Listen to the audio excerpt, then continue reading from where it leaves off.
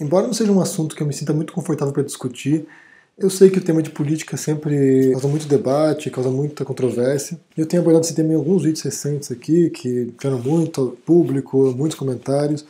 E hoje eu quero falar um pouco sobre a bússola política tem um vídeo rolando no Facebook recentemente que mostra isso, né, que é uma maneira para determinar onde você se situa no espectro político, né, se você é esquerda, direita. Mas é interessante dessa bússola porque ela apresenta dois eixos, na verdade, é, um eixo horizontal que aborda a questão econômica e um eixo vertical que aborda as questões sociais. Nessa bússola aí você pode situar tanto para a esquerda política, né, que seria você é a favor de um um Estado altamente controlador e poderoso né, economicamente, que controla decisões econômicas, ou do outro lado da direita, que é um Estado livre, um livre comércio, um livre mercado, isso no aspecto econômico, ou você pode situar num aspecto social, para um horizonte onde as liberdades individuais são restritas para o bem da comunidade geral, que seria o autoritarismo, que é onde se situam boa parte dos ditadores, ou para baixo, é, onde as liberdades individuais são respeitadas, onde é o indivíduo que, que determina o rumo da sociedade, que seria o libertário. O oposto do ditador, o oposto do, autoritarismo seria o anarquismo, né, onde cada um decide a sua própria vida, e o oposto do comunismo, que seria o Estado regendo a economia, o oposto disso seria o neoliberalismo, onde tudo vale, todas as regras estão para o mercado determinar.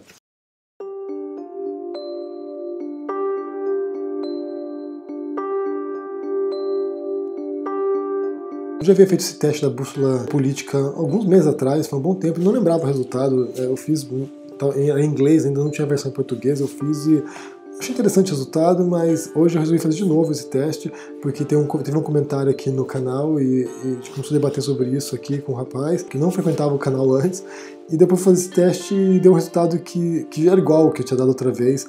Eu, eu descobri, né, eu redescobri que nessa definição aí, nessa bússola, eu sou considerado como um anarco-socialista. Ou seja, eu tô mais para anarquismo, tô mais para baixo, tô bem para baixo nessa tabela aí social. Eu vou botar aqui o, o gráfico para vocês verem. E estou mais para a esquerda, né? Algumas regulamentações do Estado, é, permitir também é, acesso à saúde pública, a, a, escolas públicas, esse tipo de coisa. Se você olhar bem essa tabela, eu vou colocar uma outra tabela para vocês olharem. Eles situam alguns políticos nessa tabela, nesse, nessa bússola política, para você ter uma noção de quem se situa onde, né? Por exemplo, o Obama aqui, ele é um político de direita, mas ele está mais para a parte de libertário, ele está mais para baixo, então ele, tá, ele é um tipo que valoriza as liberdades individuais. Já lá em cima, o Augusto Pinochet é alguém que é autoritário de direita. O Stalin, ele estaria na esquerda autoritária e o Gandhi seria o exemplo do anarquismo individualista, né? extrema esquerda, mais libertário, onde o indivíduo é que determina as regras do jogo. Tô mais pro Gandhi do que para Stalin do que para Fidel Castro. O que eu vou propor para vocês é vocês fazerem o teste. Eu vou colocar o link do teste aqui em português para vocês olharem e depois publicar o resultado aqui no comentário, o que deu no seu teste aí, onde você se situa nessa bússola política. Se você está mais para esquerda libertária, se você está mais para direita autoritária. Quero saber, fiquei curioso, porque as pessoas vêm aqui, comentam, brigam bastante às vezes, deixam um monte de comentário falando que eu sou esquerdista, que eu sou neoliberal, a última vez me disseram isso. Então quero saber de vocês, que, que, onde vocês se situam aí, e se vocês concordam com o resultado. Põe aqui o resultado, como eu disse, e a gente vai debater a partir disso, certo? Vai ser um experimento divertido aí. Se você gostou desse vídeo, dê um joinha, deixe seu comentário, deixe o resultado do seu teste aí embaixo. Assine o canal se não ainda, a gente se vê por aí. Abraço e até mais. Tchau!